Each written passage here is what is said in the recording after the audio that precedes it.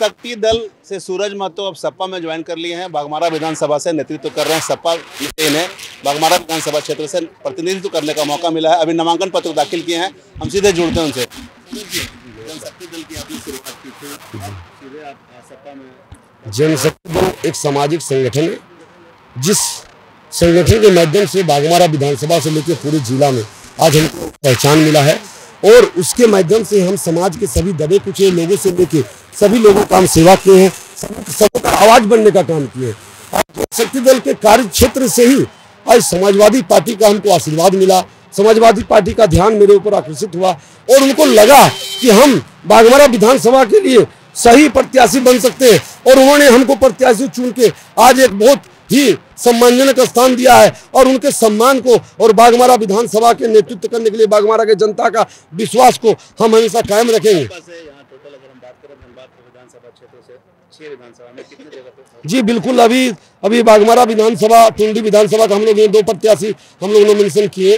और इसके बाद और कई विधानसभा है, जहाँ पर आज नॉमिनेशन हो रहा है, कई जगह टिकट का बंटवारा भी हो रहा है। आज रात तक वो फाइनल होगा और ये पता चल जाएगा कि झारखंड में कम से कम आधा विधानसभा में सपा इस बार लड़ने का विचार बनाया है चीज़ बताइएगा बागमारा में चूँकि आप भी खड़े हैं कांग्रेस से भी प्रत्याशी हैं भाजपा से भी प्रत्याशी हैं निर्दलीय भी खड़े हुए हैं ऐसे में कहाँ देख रहे हैं अपने आप को जी हम आपको ये बताना चाहेंगे साफ़ तौर से कि बागमारा विधानसभा में अगर आप जाइएगा तो वहाँ के जनता के मुँह में और जनता के लफ्जों में एक ही बात है कि सूरज मातो मेरा बेटा भाई भतीजा है वो कोई नेता नहीं है और वो अपना भाई बेटा भतीजा के रूप में हमको विजय बना के और बागमारा विधानसभा से राशि भेजने का काम करेगा बाकी किसी से मेरा कोई टक्कर नहीं है। एक और पूर्व मंत्री हैं दूसरी ओर सांसद के भाई हैं ये दोनों ही दिग्गज हैं। और ऐसे में कितना टफ मुकाबला होने वाला है इस बार का? मेरा साफ़ तौर से मानना है कि जनता से बड़ा दिग्गज कोई नहीं है। जो अपने आप को दिग्गज समझता है, वो दिग्गज नहीं, वो धूल के बराबर है। इस बार बाघमारा का जनता उनको मुखर होकर जवाब देगा और उन लोग को बताएगा, तुम लोग दिग्गज नहीं, तुम लोग धूल के बराबर है। क्योंकि बाघमारा का जनता ने उसको वोट देके वो स्थान दिया था कि बाघमारा का सेवा करने के लिए। आज बाघमारा को जिस प्रकार से उन्होंने लूटा है जब बाघमारा का जिस प्रकार से जुमलाबाजों में फंसाया है और बाघमारा के जो बदहाली किया है, इस बार बाघमारा की जनता करारा जवाब देने वाला उन लोग को। बागमारा की बदहाली अगर आप इंच और टेप से नापिएगा तो शायद वो कम पड़ जाए। इसलिए कि खुलेआम जहाँ पर आज भूखनन हो रहा है, वहाँ लूटा जा रहा है भू संपदाओं को। जहाँ खुलेआम हत्या होता है, जहाँ खुलेआम रेप और तरह तरह के मामला उत्पन्न होता है, उस जगह पे आप क्या बदहाली का नाम लीजिएगा। बागमारा आज अंतिम चरण पे खड़ा है, इसलिए बागमारा की जनता इस बार मुखर होकर जवाब देगी। जी, बिल्कुल खड़ा हुए थे। क्या समस्या उस समय हो गई थी? जनता का आशीर्वाद पूरी तरह से नहीं मिल पाया नहीं, बिल्कुल हम जनता का आशीर्वाद हमको मिला।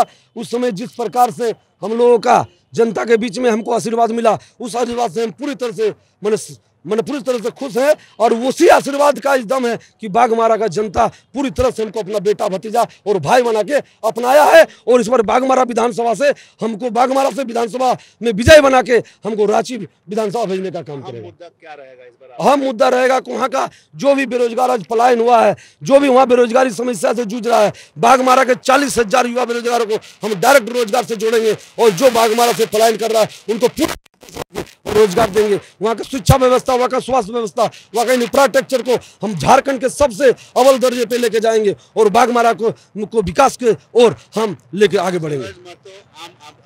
चौबीस घंटा जी बिल्कुल सूरज मातो आज कल और हर दिन और आने वाला हर समय तक सूरज मातो जिस प्रकार अवेलेबल रहता है वो हमेशा 24 घंटा सूरज मातो तत्पर रहेगा। धन्यवाद। ये सूरज महतो थे और बागमारा विधानसभा क्षेत्र से इन्होंने नामांकन दाखिल किया है सपा से। सपा से इन्होंने नामांकन दाखिल किया है।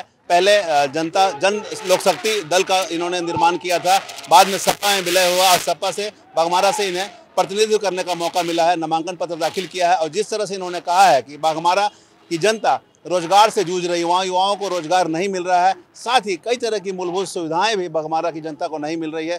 पूर्व में भी 2014 में इन्होंने चुनाव लड़ा था। हालाँकि जनता का आशीर्वाद नहीं मिल पाया था। बावजूद ये मुखर है वहाँ पे और इनका कहना है कि जीतने के बाद जनता की समस्याओं को त्वरित जो निष्पादन किया जाता है, वो निष्पादन करेंगे। साथ ही जो मूलभूत सुविधाएँ हैं, जिससे जनता वंचित है, वो भी लोगों के बीच आच्छादित करने का काम करेंगे। बहरहाल, देखना होगा जनता का मूड क्या है और जनता किसे सत्ता पर बैठाती है और किसे नकारती है।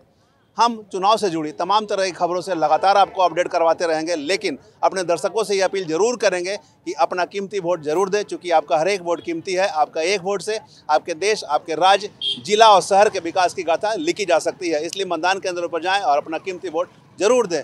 हम तमाम चुनाव से जुड़ी खबरों से लगातार आपको अपडेट करवाते रहेंगे। कैमरामैन संजय के साथ धीरेन्द्र, मिरर मीडिया धनबाद।